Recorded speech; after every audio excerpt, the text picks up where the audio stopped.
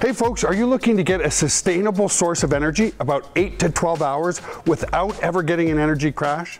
Or perhaps you'd like to lose up to 30 pounds in 30 days. Then you need to look at our Elevate Extreme.